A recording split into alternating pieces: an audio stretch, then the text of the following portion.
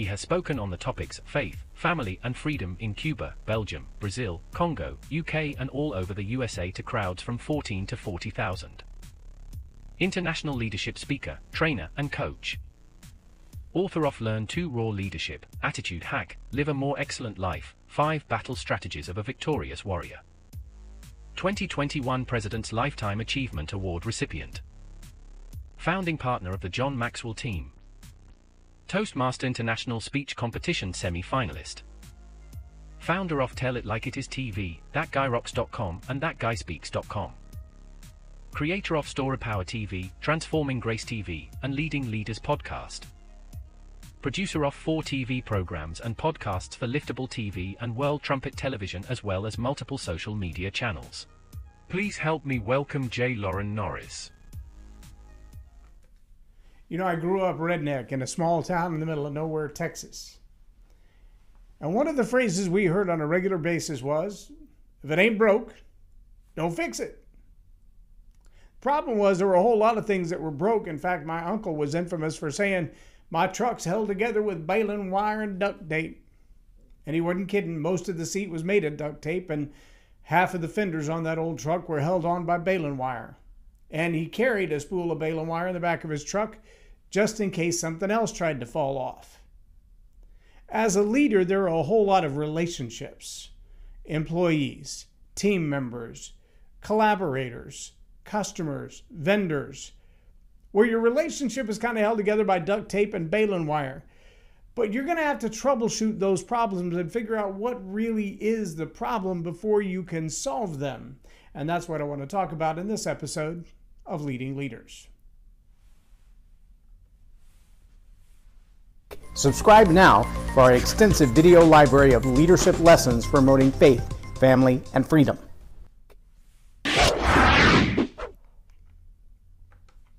I'm Jay Loren Norris with Leading Leaders Podcast. And yes, I do often have to take my own advice, especially after the fact. Uh, posthumous events those that have gone by and now we're looking back on them going, what happened, what went right, what went wrong. Uh, the recap, the autopsy of an event, the autopsy of a relationship or a customer sale. Uh, it's sometimes called a debrief, an exit interview. Uh, as someone is leaving the company, you ask them all those questions about why did they leave, why didn't they stay, why are they ready to go, what are they moving on to next, what could you have done to keep them on the team. Sometimes, as they're on the way out the door, you're like, I am so glad they're leaving, but hey, I want them to know why they're leaving. All of these are different forms of troubleshooting. I know that sounds a little bit weird, but it, it really is troubleshooting when you have an exit interview with an employee.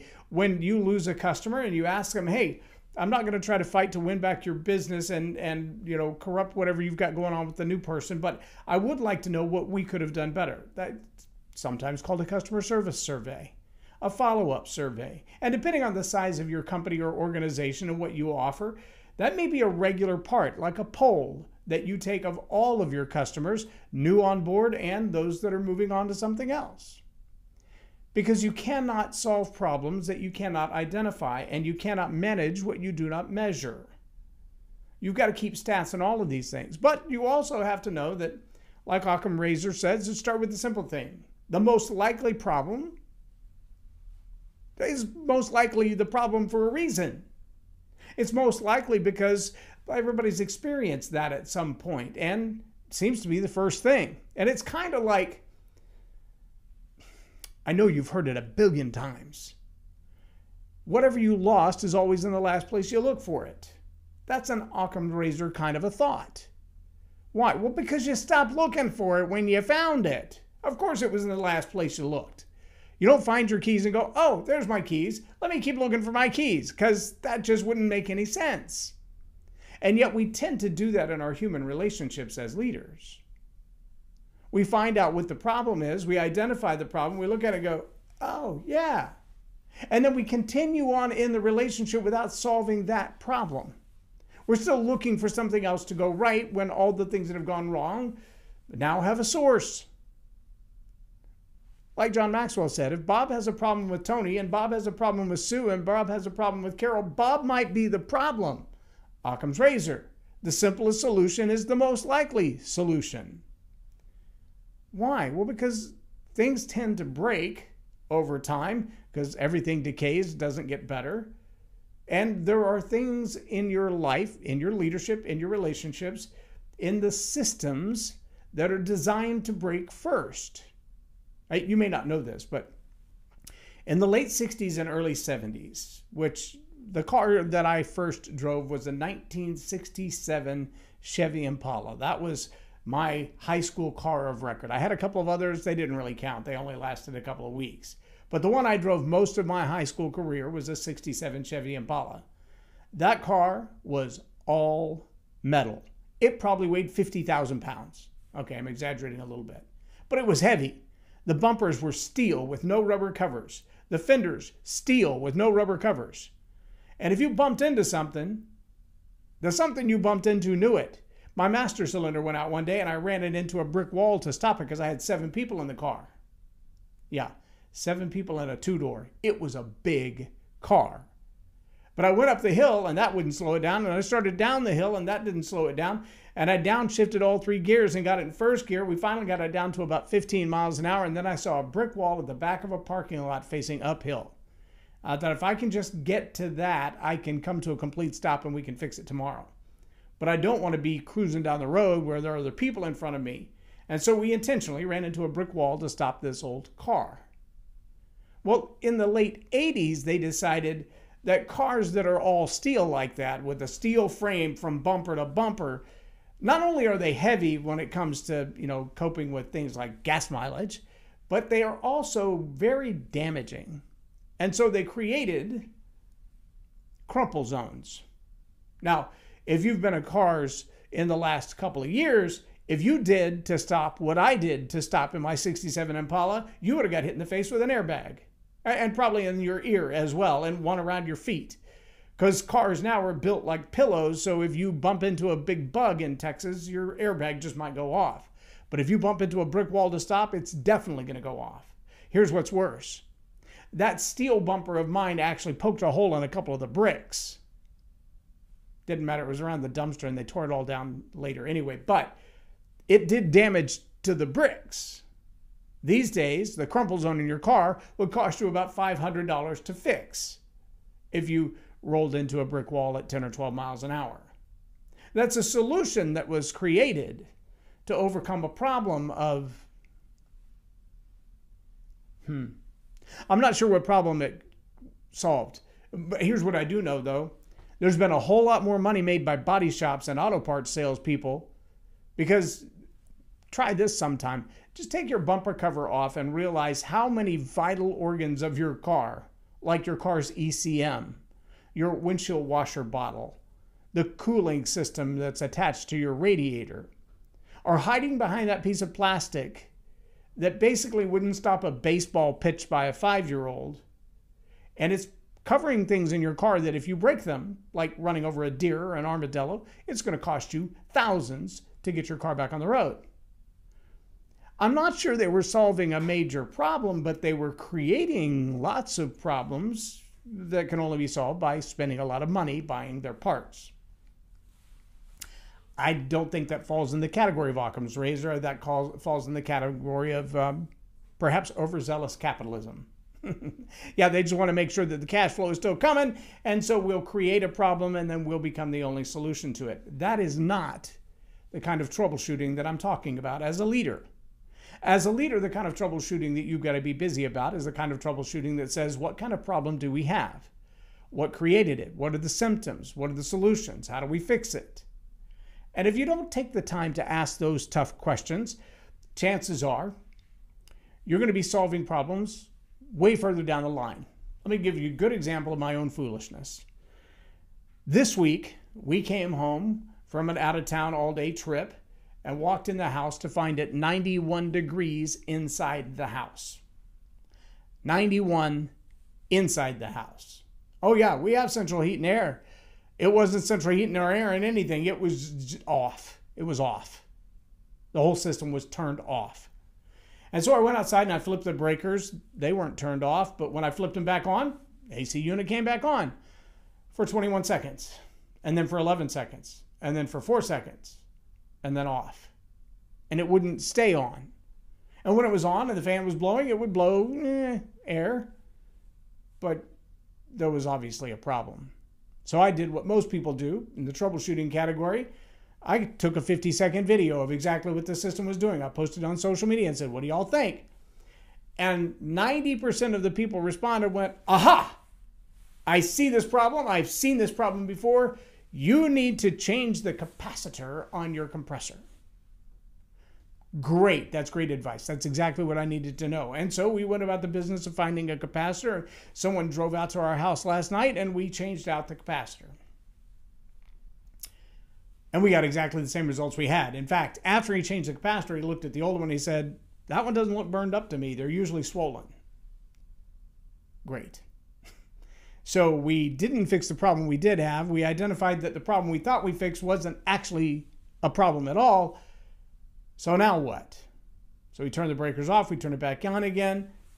He said, you know, it might be this contactor thing here, because if I push this button in and hold it, the system runs, and the minute I let it off, it goes off. And I said, well, what makes the contactor decide to be open or be closed, to work or not work? And we went back to the internet and found some YouTube videos and found some research on it.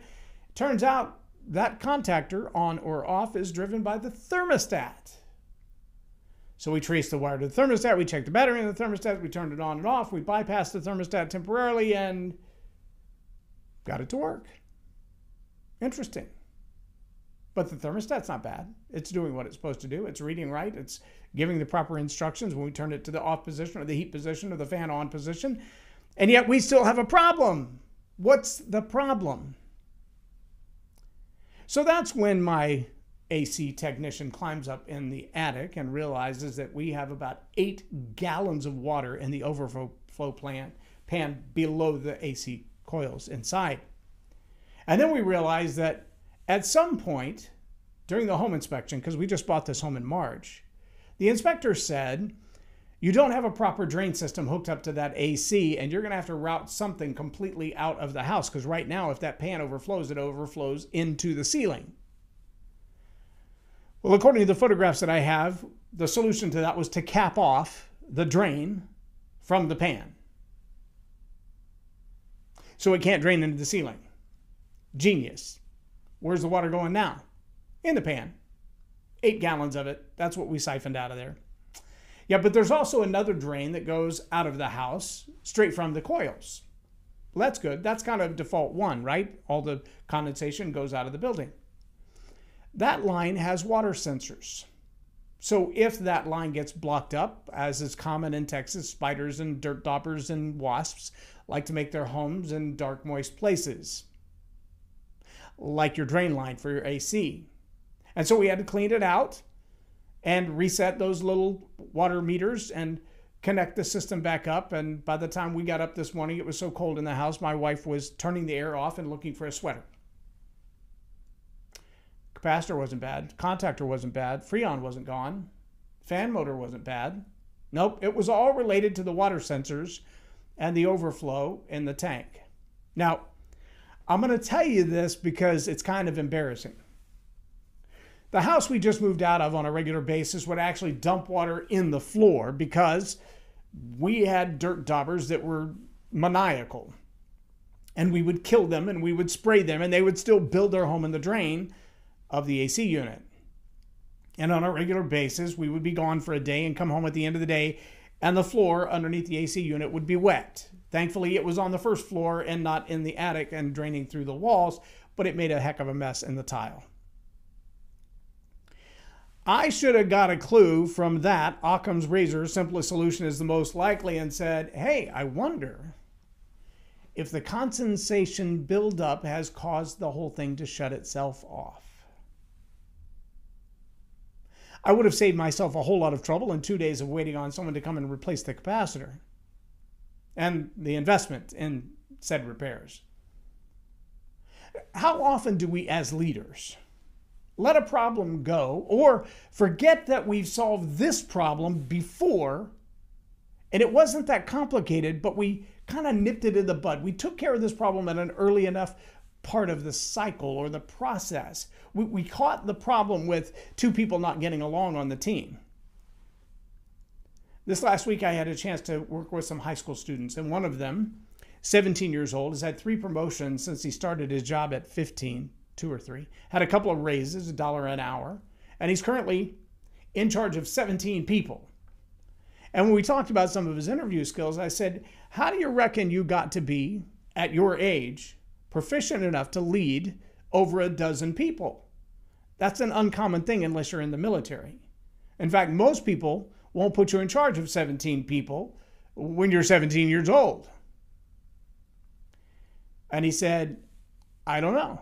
I said, Tell me about your family. Well, he's one of eight. that explains a lot. He has four younger siblings.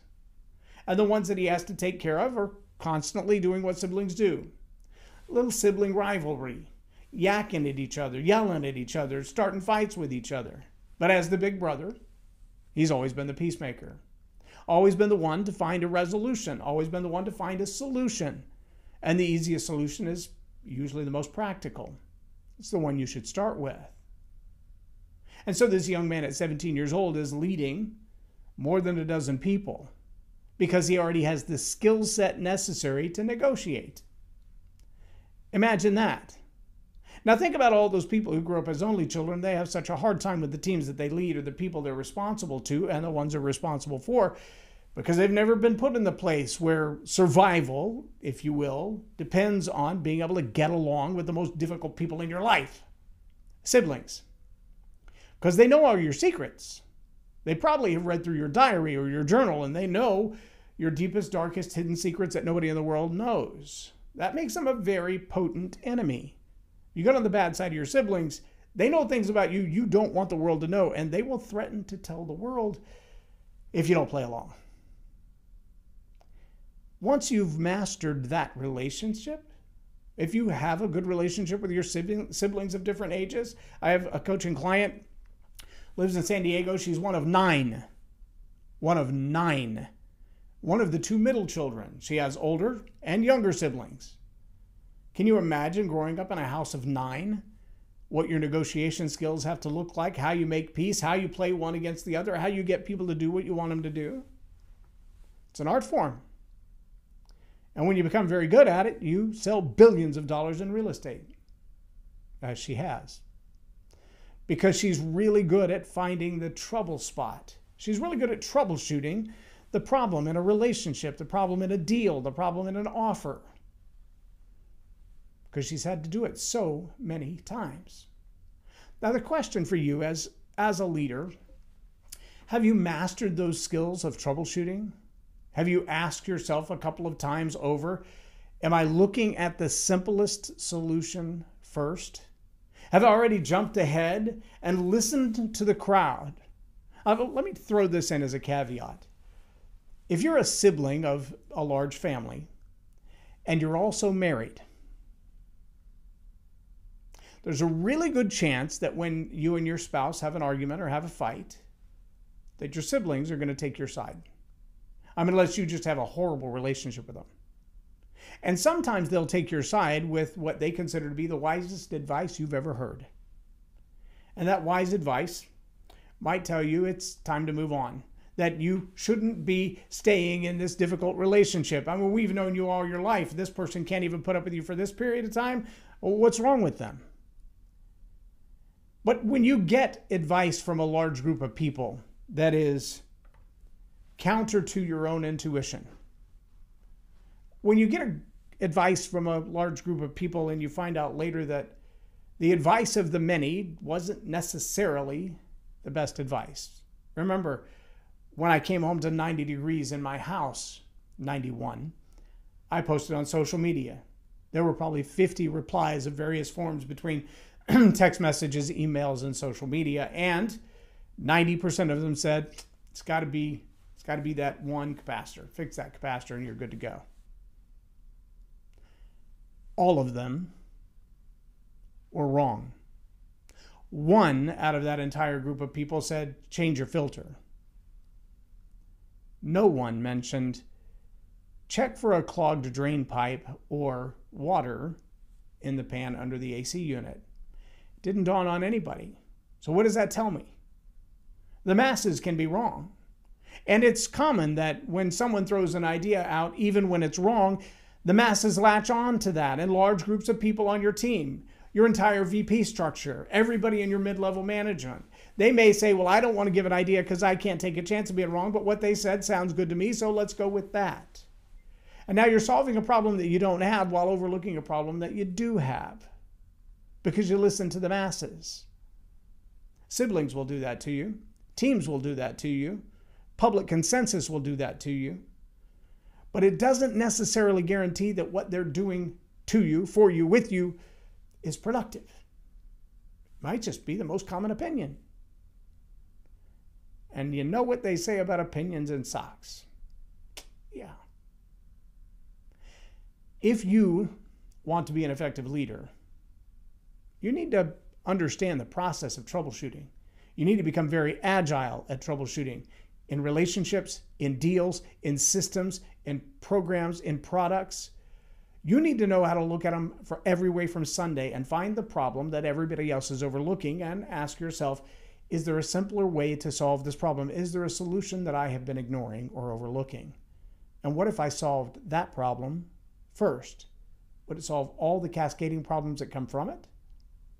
When you become a master technician at leadership, communication skills, reading people, solving problems in relationships, you're going to find that the leadership lid in your life raises significantly. And if you're not real good at that, find someone for your team who is and delegate that. But don't ignore the most simple, most likely Occam's razor kind of a problem. Deal with that one first and then move up the food chain. I'm Jay Loren Norris with Leading Leaders Podcast for Tell It Like It Is TV. Have a blessed day.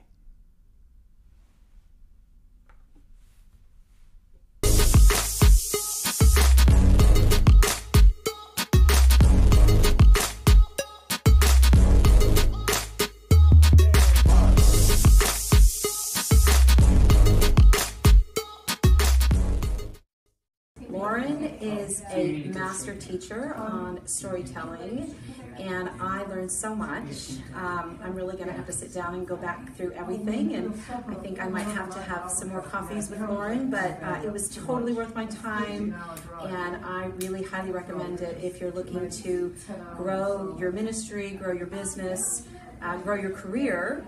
Uh, Loren will serve you well.